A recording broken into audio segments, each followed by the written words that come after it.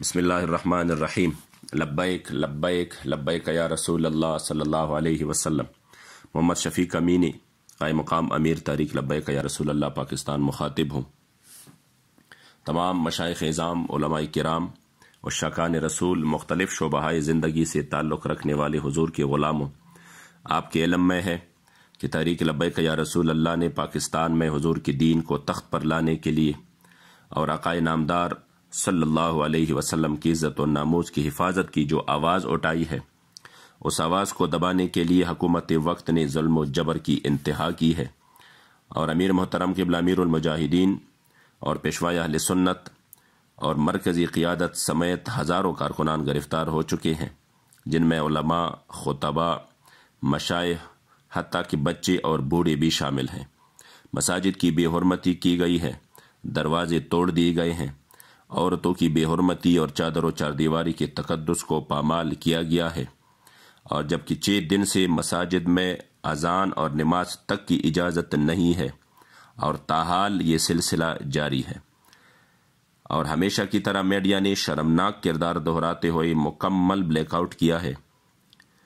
جبکہ قائدین اور کارکنان کی فیس بک اور ٹویٹر اکاؤنٹس بھی بلاک کیے جا رہے ہیں اور نہتے اور بے گناہ کارکنوں پر دہشت گردی جیسے مقدمات بنائے جا رہے ہیں۔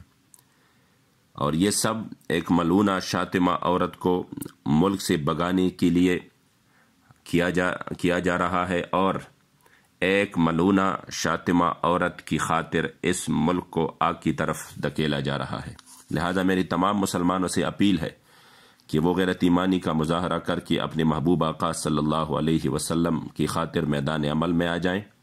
بالخصوص مشائق اظام اپنے مریدین سمیت، اپنے حلق احباب سمیت، علماء کرام اپنے شاگردوں سمیت، اور مختلف شعبہ زندگی کے حضور کے غلام، کل تیس نومبر بروز جمعۃ المبارک بعد از نماز جمعہ پر امن احتجاج کرے نماز جمعہ کے بعد عام اعلانات کرے اور حکومت وقت کو پرامن طور پر یہ پیغام دے کہ یہ مسئلہ ہم سب مسلمانوں کا ہے اور ہم اسیران ناموس رسالت کے ساتھ ہیں، ان کی رہائی کا مطالبہ کرتے ہیں۔ اور آسیہ کی پانسی کا مطالبہ کرتے ہیں۔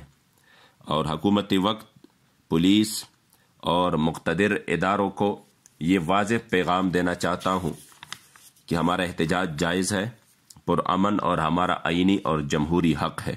نہ جلاؤ گیراؤ ہوگا، نہ توڑ پوڑ اگر اس کے باوجود بھی کچھ شرپسند عناصر تحریک کو بدنام کرنے کے لیے اور اس مقدس مشن کو سبوتاج کرنے کے لیے عوام کے عملہ کو نقصان پہنچا رہے ہیں یا کسی بھی قسم کی شرپسندی کر رہے ہیں تو بے شک انتظام یا ان کے خلاف حرکت میں آ جائے۔ تحریک کا ایسے شرپسند عناصر سے کوئی تعلق نہیں۔ امید ہے کہ انشاء اللہ تعالی حضور کے غلام، حضور کی عزت و ناموس کے لیے اپنی آواز کو حکومت وقت تک پہنچانے میں اپنا کردار ادا کریں گے اور میرے مصطفی کریم کے سامنے سرخرو ہو۔ لبیک لبیک لبیک یا رسول اللہ۔